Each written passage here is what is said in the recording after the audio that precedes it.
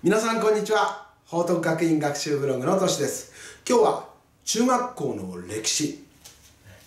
日本で中国船が使われたのはというタイトルで、えー、大体平安時代から戦国時代くらいまで、ね、日本の位置では日本のお金じゃなくて中国のお金が使われていたんですよね、えー、今日はそのことについてお話しします。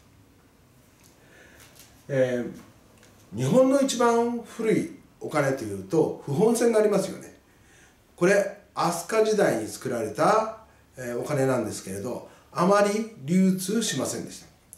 ですから今回は流通したお金からお話をしていきたいと思います、えー、まず武蔵の国で銅鉱山が発見されて朝廷はこれを喜んで元号を和道このようにしました。言語を変えちゃうくらい喜んだんですね。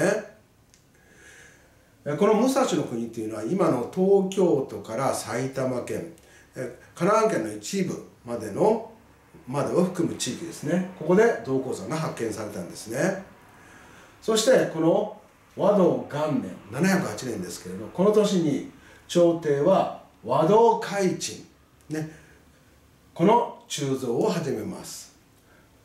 元号の和道の銅は金属の銅ですけれどお金の方の和道開鎮の銅は同じという字なのでちょっとここを気をつけてください、ね、それまでねお金の代わりに使われていたものこれは布とか稲。ね。または物々交換もありました、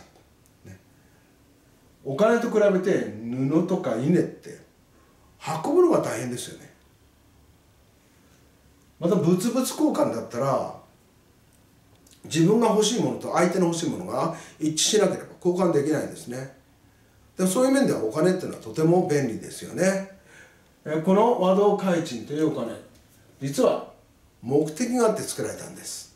それはなぜか何かというと平城京を造営するときに支払う賃金とかね。そういうことに使うのが目的でした。じゃあこの和道開地、ね、現在で言ったら1枚いくらくらいだったかと。昔も今も共通してあるもの、ね、どのくらいの量を買えるかというので比較してみたらまずお米って、ね、皆さん食べてます。昔の人も食べていましたからこのお米の値段で比べてみました。そうすると和道開賃1枚これは現在の約500円くらい。に当たりました。ねその和道会地このお金を作ると実は国って儲かる仕組みになっていたんですね。え現在のお金で説明すると100円硬貨これを作るのに原価は25円、ね、4分の1なんですね。同じように和道開賃1枚作る、ね、500円はかからないんですね。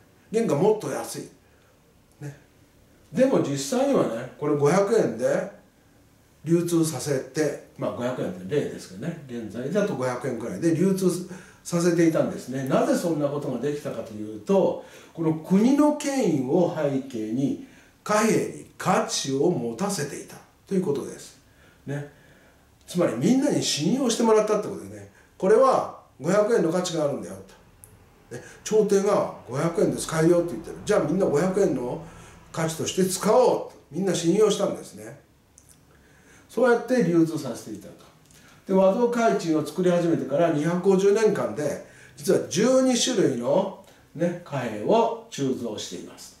でもこれだんだん鋳造しなくなる。なぜかというと使われなくなったんですね。そして最終的には鋳造をやめてしまいました。これなぜかというと偽物偽金を作る人がね悪い人がねたくさん出てきたんですよ、ね、だから貨幣がこれ本物かどうかわからない。信用ができなくなったと。ね。で朝廷もこの対策をするんですけれど結局最終的には質の悪い貨幣を作る。というところに行ってしまって鋳造をやめてしまいます。そしてまたお金の代わりに布や稲と。物々交換に入りそうになるんですけれどやっぱり貨幣って実際に使ってみると便利と。ね。で便利だからなんか使えるようなものはないかな貨幣として。もちろん信用できるものじゃなきゃいけない。ね。でも朝廷のものはちょっと偽物多すぎて本物かどうかわからない。見分けがつかないし。ね。最近はね質も悪くなっていると。じゃあ信用のできるものないかって言った時中国当時宋だったんですけど宋っていう国は大きくてしっかりしてる国だった。じゃあ宋の貨幣はどうかなと。じゃあ使ってみようということになるわけです。でも中国の貨幣ですからじゃあ日本で作ってるわけじゃない。ね流通するだけの量があるかどうかなって。ねこれは大切な要件ですよね。実は宋の貿易船当時博多に来ていて大量にこの宋の金を日本に持ち込んでいたんですね。ですから貿易船が運んでくれるので安定的な供給が可能です。